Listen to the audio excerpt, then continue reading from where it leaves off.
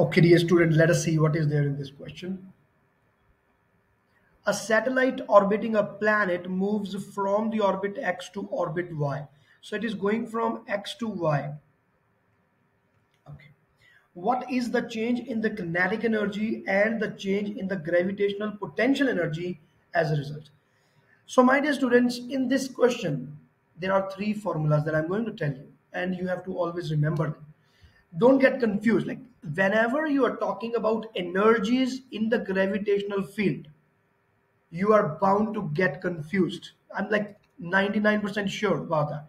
So be very careful in this in, in this kind of question. You see, the formula for the potential energy, gravitational potential energy that we are going to use is this. So this is the most fundamental gravitational potential energy formula that you can derive it from the work done and a hell lot of theory is there. We first of all find the work and then we find the potential energy. So in many other videos I have done that. So in this video I'm directly going to the formula. And the kinetic energy is again plus gmm by 2r and the total energy is the negative of the kinetic energy which is this where r is the radius of the orbit small m is the mass of the satellite and capital M is the mass of the planet. So these are the formulas in respect to which we are going to think this question. We are not going to use half mv square. It is valid, but we are not going to use. We are not going to use mgh. This is not even valid here. This is not even valid for gravitation purposes. This is valid only in topic 2, mechanics. Otherwise, this formula is not right. There are many conditions to derive this formula, okay? Let us now concentrate here. So let us first comment on kinetic energy because it is positive. So R is increasing, the radius is increasing. So clearly you can see if the denominator is increasing, the value of the kinetic energy will be decreasing. So I'm sure that the kinetic energy will be decreasing, no doubt about that. Now let us go for the potential energy.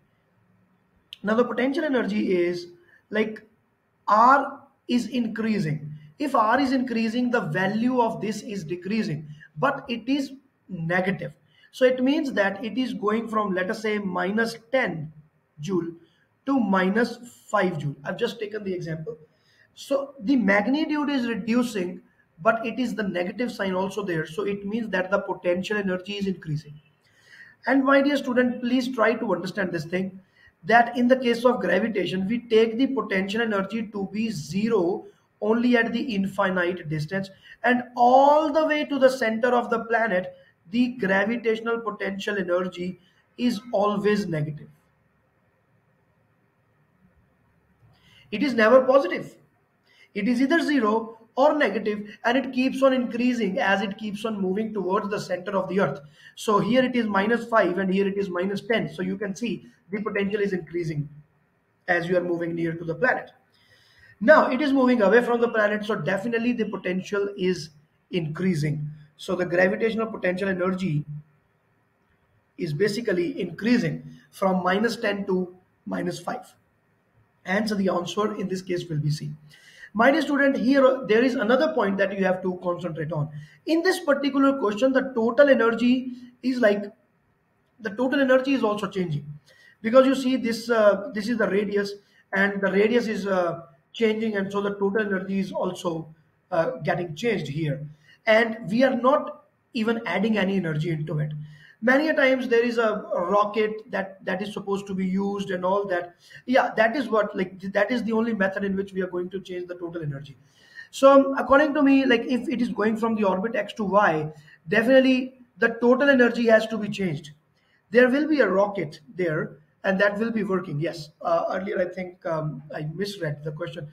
So uh, there will be some changes in the energy also even that total energy is increasing. So the rocket is firing. So the chemical energy of the fuel is converted into the mechanical energy and which is reflected as the total energy of the satellite which is also increasing.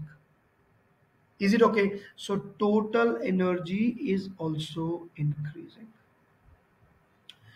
Okay my dear students so the answer is c. All the best. Bye